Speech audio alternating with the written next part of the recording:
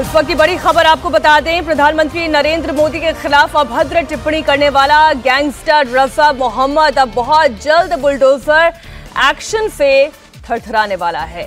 जी हाँ, उत्तर प्रदेश के फतेहपुर में प्रशासन ने बड़ी कार्रवाई करते हुए गैंगस्टर रजा मोहम्मद के अवैध तरीके से बनाई गई इमारत के सामने अब खड़ा हो चुका है और ये बुलडोजर इस अवैध इमारत को गिराने का काम करना शुरू कर चुका है। जी हाँ ये पीला पंजा चलते हुए आप देख रहे हैं।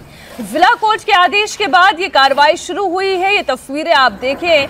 एक एक करके ये फ्लोर्स गिर रहे हैं।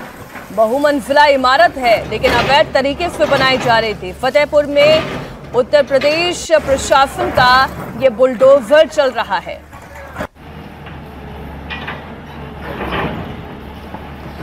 गैंगस्टर रसा मोहम्मद ने अवैध तरीके से इस बिल्डिंग का निर्माण कराया और इसलिए अब इस निर्माण के खिलाफ कार्रवाई हो रही है।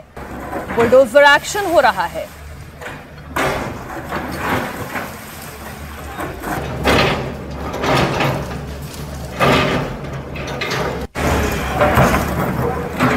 कहने को कई लोग ये कह सकते हैं कि ये बुलडोजर जो है बार बार क्यों चल रहा है? किसी एक समुदाय के खिलाफ इतनी तेज़ी से क्यों चल रहा है? लेकिन हकीकत तो ये है कि ये अतिक्रमण के खिलाफ है, ये अनियमितताओं के खिलाफ बुलडोजर है।